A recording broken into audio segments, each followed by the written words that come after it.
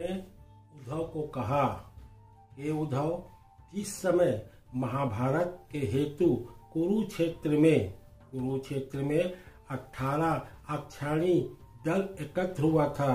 तब अर्जुन ने द्रोणाचार्य पितामह आदि सज्जनों को देखकर अपना गांडी को ज़मीन के नीचे डाल दिया था। उस समय मैंने अपनी महिमा का वर्णन करके अर्जुन को अपना विराट स्वरूप दिखाया था और उसका मोह नष्ट किया था।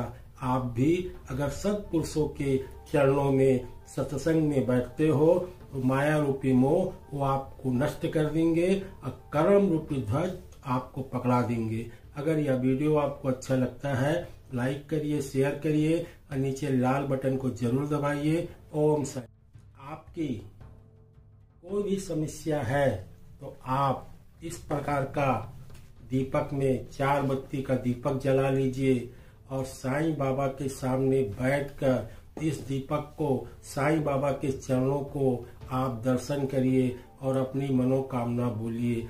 जैसे ही आप बोलोगे, दूसरे तीसरे दिन साईं बाबा आपकी मनोकामना पूरी कर देंगे। अगर यह वीडियो आपको अच्छा लगता है इसे लाइक करिए शेयर करिए और नीचे लाल बटन को ज़रूर दबाइए। ओम साई।